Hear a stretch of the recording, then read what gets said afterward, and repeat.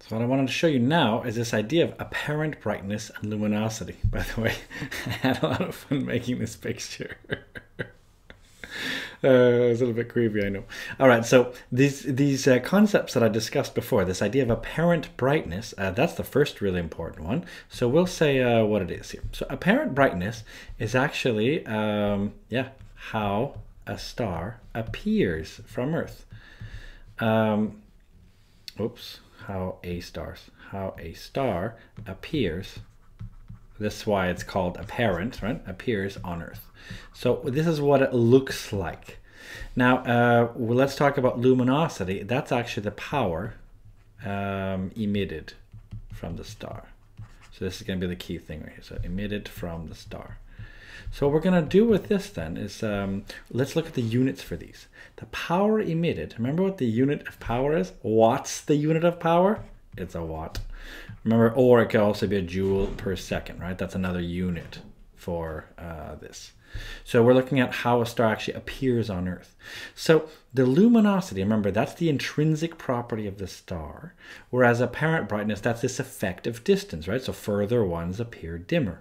So how a star appears on Earth, it's going to be the power, but it's going to be every meter squared. So we're going to take that power and we're going to project it onto a meter squared. So it's going to be in watts per meter squared. If you look carefully at this equation, then we're going to have these same concepts here. So this is the letter we use right here, apparent brightness. We're going to use the letter B, and luminosity, we're going to use the letter L for it. So lowercase b for apparent brightness, and luminosity for uppercase L here. So what we do then is we take this luminosity, the power emitted from a star, and because it goes out in all directions, right, it goes out into a sphere, doesn't it? And think about this then, if it's over a sphere, this power that's emitted in all directions, uh, the effective distance is that it's going to be based on this surface area of a sphere. So that's why we have the 4 pi d squared comes in. Right? That's actually the surface area of a sphere. So 4 pi d squared, and then we have b. So we know what B is. It's apparent brightness. It's in watts per meter squared. It's what we measure on Earth. This is easy to get. Okay, that's to be the key thing right here. This is easy to measure. The key thing then is going to be in astronomy then, I mean, this is easy to get. This is, you just measure it today, right? Just put that light onto a little detector. What's the size of that detector? That's your meter squared. How many watts came in? Boom, you have your apparent brightness. Luminosity, however, is much harder. In fact, a lot of the time we're going to be spending uh, is going to be looking at how to get luminosity or a proxy for luminosity.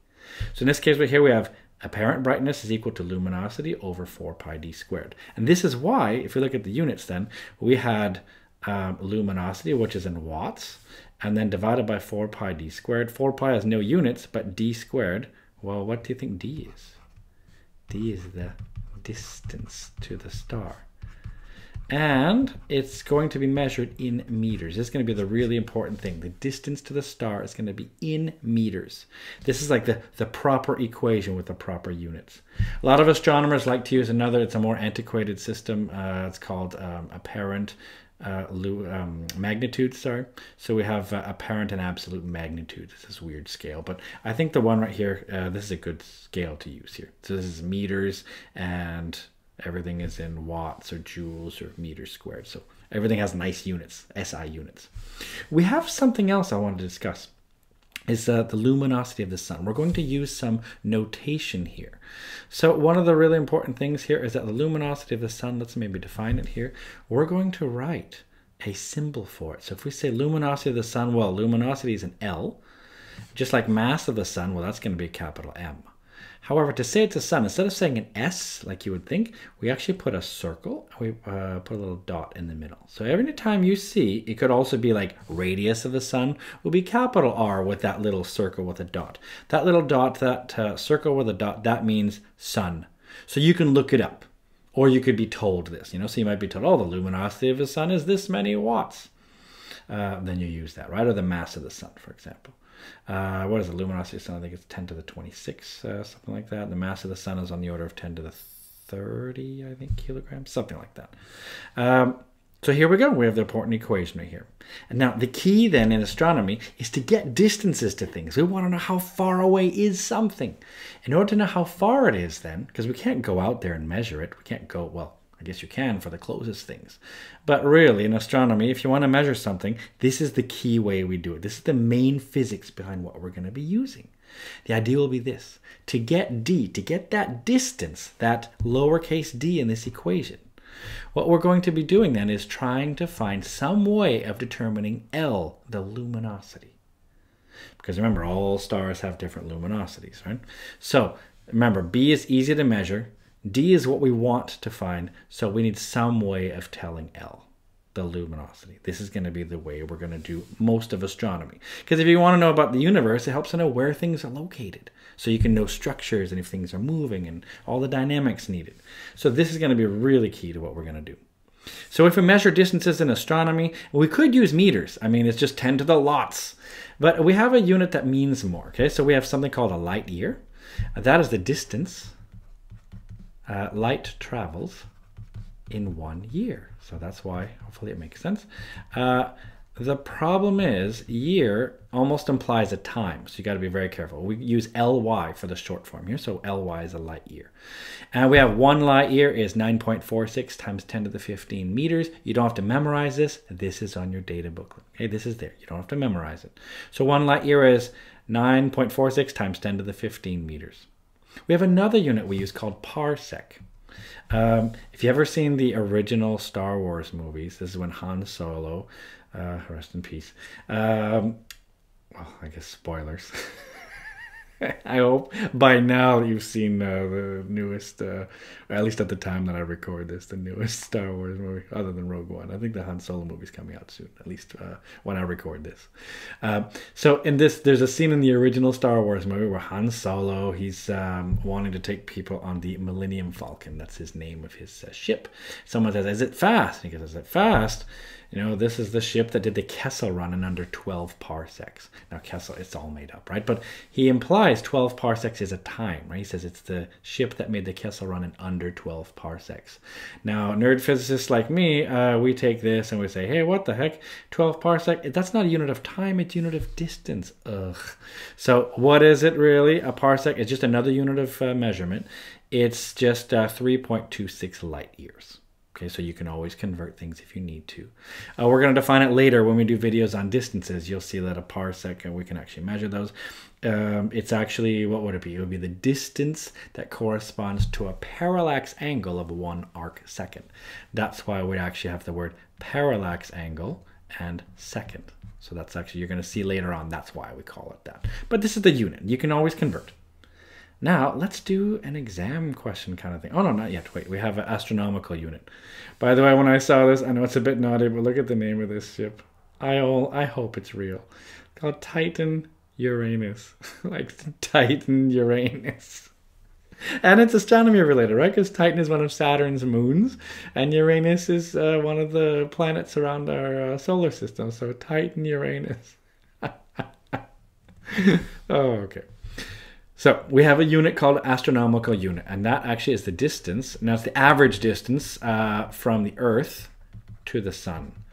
Now it's not exact because if you think about it, this here's the Sun, and we have the Earth going around it. It's actually in an elliptical orbit, okay? So it's not exactly, right? But we see it's the average distance from the Earth to the Sun would be called 1 AU, 1 astronomical unit.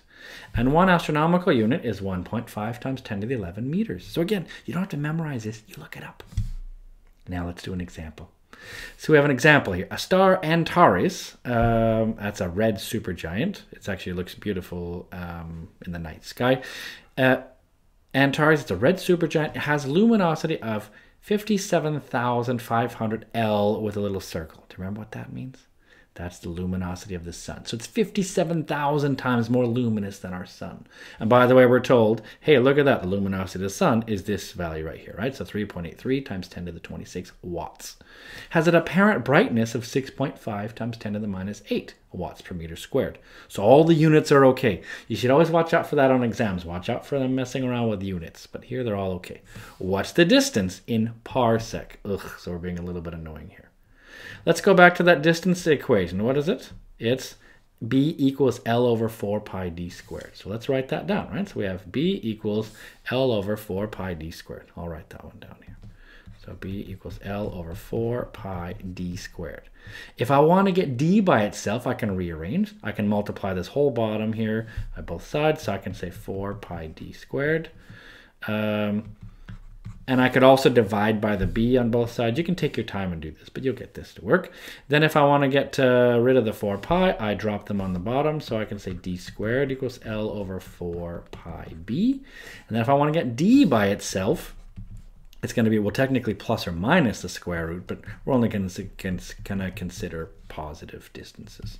So it's going to be the square root of, let's see, the luminosity, which is 57,500, times uh, 3.83 times 10 to the 26, because that's the luminosity of the sun, right? We have to multiply this value times this value.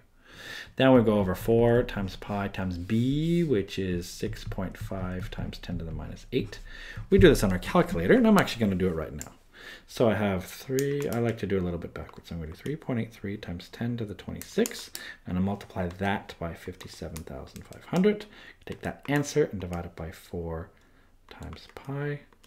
I'm going to take that answer and divide it by 6.5 times 10 to the minus 8 I'll take the square root of that answer, and I'm going to get a value of d equals 5.19 times 10 to the 18 meters. I do it to two significant figures. Yes.